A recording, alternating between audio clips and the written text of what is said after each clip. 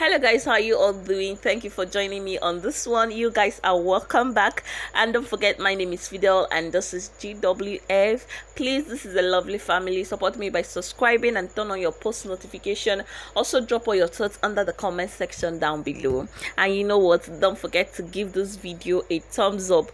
Guys you all know i almost forgot that there is another reunion airing today. Like seriously after Liquorose's own i really lost interest and i don't find anything interesting again to you know watch or anticipate. But guys one thing i have to tell you on this reunion and big brother show and what you have to have in mind that if you see your fave in friendship with any of the housemates after this reunion then hold them tight. That is the real friendship. Because the real friendship and dating ship of big brother nigeria happens after the reunion. The game is still on after the show till the end of the reunion. And after unveiling the veil of what happened in big brother house what we couldn't see what we couldn't hear what happened behind the scene and they are still together maybe in friendship maybe in relationship and in dating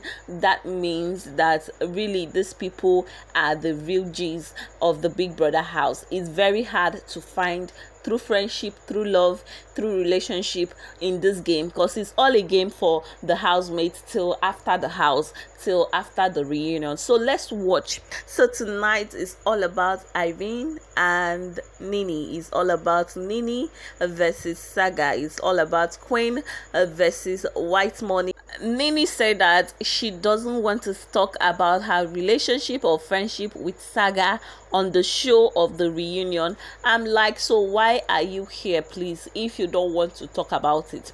Guys, is this sense or is it nonsense? Like, is it smart for her not to talk about the friendship or is she actually bridging some agreement of the big brother? Because I, for one, is here for the juicy gist. I, for one, want to know what is actually going on. Are they just friends? Have they started dating? Did she continue with her so called boyfriend outside the house? Or did the boyfriend reject her when she was evicted from the house?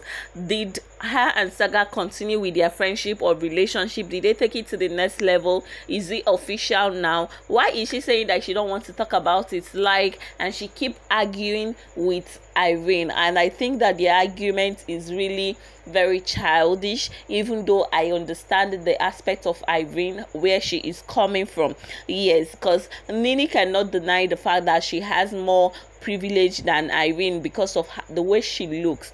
I kind of feels Arin's pain because in a world of today, if you have lived in a society where people discriminate against you because of your physical appearance, then you understand Arin's pain. But I think the only reason Arin and Nini kept arguing and talking and talking non-stop is because they still like each other but they don't want to admit nobody want to apologize nobody want to say sorry so guys at the end of the day it was just continuous arguments between nini and arin.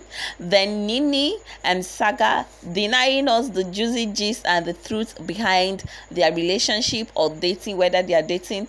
Nini says she don't want to talk about it on the show. Like who is she to then come and sit and not just us about what is actually happening. So guys you know what it is. If it's not about the queen of shine your eyes and everything is just boring.